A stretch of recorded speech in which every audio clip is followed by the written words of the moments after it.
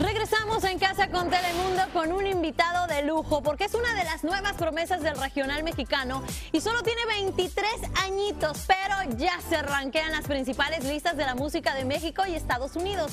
Su tema Si quieres logró disco de platino y disco de oro, así como millones de reproducciones en las plataformas digitales. Yo fui una de las que escuchó ese tema, Carlitos Adián también, así que nos vamos a poner de, De pie, pie. para decirle bienvenido Neto Bernal, eso. Muchísimas gracias. Qué, qué bonito recibimiento. Qué guapura, mira. Muchas gracias, por ¿qué tal? favor. Toma asiento y bienvenido a casa. Muchísimas gracias. ¿Todo bien? ¿Cómo están? Muy bien, muy bien. Muy contento de estar aquí. Y nosotros contentos de escuchar este nuevo tema eh, que la verdad nos tiene a todos contagiados aquí. Cuéntanos un poquito sobre esta maravillosa canción. Claro, esta canción acaba de salir una semana aproximadamente. Es mi más reciente sencillo, Se ve que te hago falta y es una composición de, de Eden Muñoz de calibre 50. Wow. Es la primera canción que, que me da y, y, pues es un todo un honor grabar ah, esta canción pues para semejante compositor. Totalmente. Sí, era justo lo que te iba a preguntar, ¿qué se siente?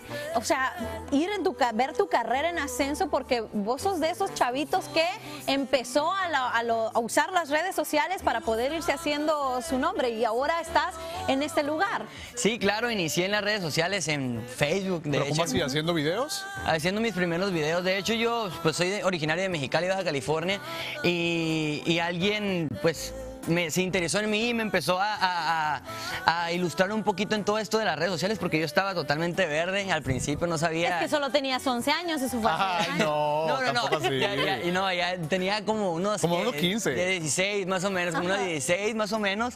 Y a los 17 empecé como que ya a subir mis primeros videos, a grabarme. La verdad, al principio no sabía manejar, como les comento, nada de las redes sociales y, y me empezaron a pues ayudar a crear contenido para pues para toda la gente que, que empe- empezaba a escuchar mi música. Eh, Al principio ni siquiera sabía tocar la guitarra, poquito a poquito he Aprendido le- todo. he- Exactamente, le he echado ganas, le he echado ganas para ir pues avanzando cada, cada día más y, y, pues ahorita gracias, estoy bien contento de estar aquí con ustedes. Y ahora, verdad. o sea, el hecho de que hagas una canción de, de, de Eden Muñoz, dijiste, es un honor. ¿Cómo te sentiste? ¿Cómo se dio esto?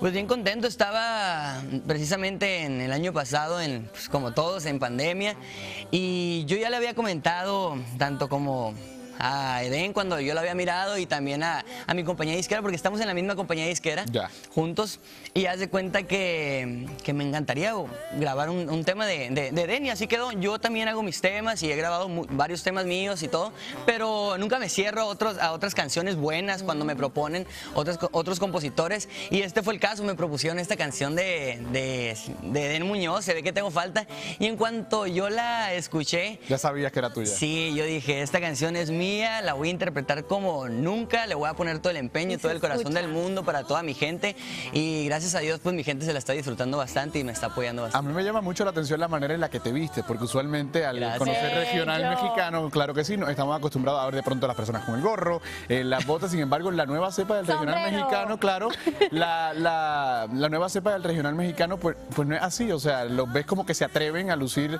eh, otro tipo de pintas. ¿Para ti qué significa eso? Sí, claro, pues la verdad me siento muy a gusto estar así como entre casual y formal, o sea, me siento cómodo, me siento cómodo, o sea, no me, no me gusta como que tampoco irme a lo mejor con un Levi's. Claro, ah, no abandonar sí, la esencia, pero sí cambiar un poco. Exactamente, siendo, cambiar un vos, poquito. siendo vos mismo y te ves Sí, espectacular, sos gracias. un niño súper talentoso y de verdad que te deseamos todo el éxito del mundo.